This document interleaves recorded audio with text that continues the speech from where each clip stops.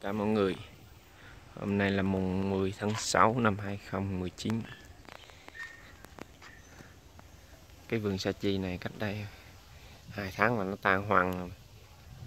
Đấy, Những dấu tích của cây cây chết Vì bệnh, vì sao đột thân Mùa nắng này đa phần là chết hết nè. Mình tiến hành trồng tái trồng lại luôn trồng mới luôn ạ. Đấy.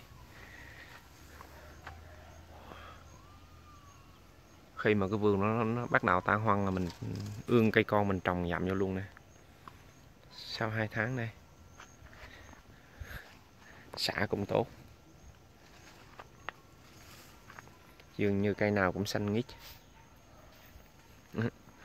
dấu tích của những cây chết khô vẫn còn này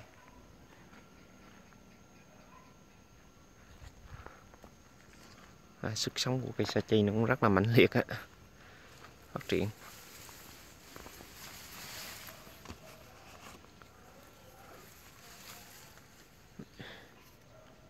Nước rượt bắt đầu có trái lại nữa.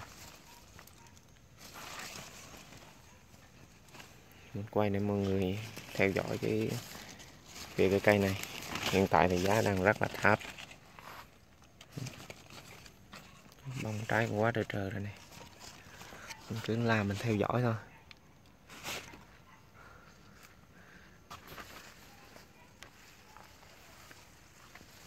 Nó cũng phát triển rất là nhanh. Hiện tại ở ờ, đất đoa gia lai mưa cũng chưa có nhiều. Đọt non rất là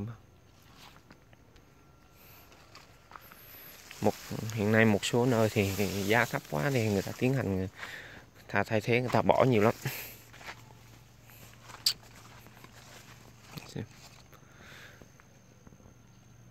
Cái này có vàng có trụ nó bò nhanh kinh khủng luôn.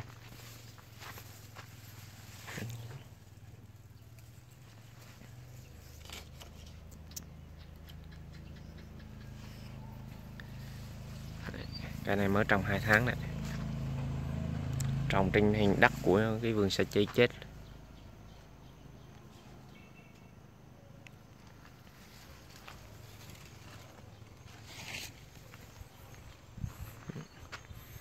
Cây khô chết vẫn chưa kéo xuống luôn đây.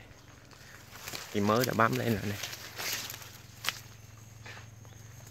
xem.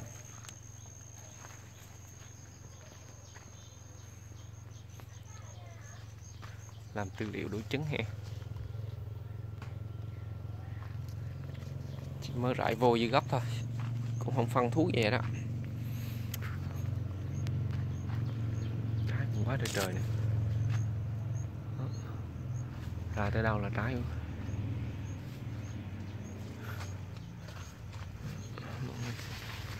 Đây đang sót lại cái cây hồi năm ngoái đây.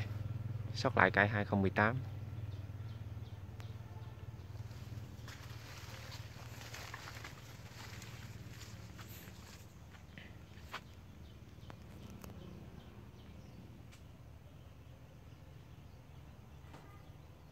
All right.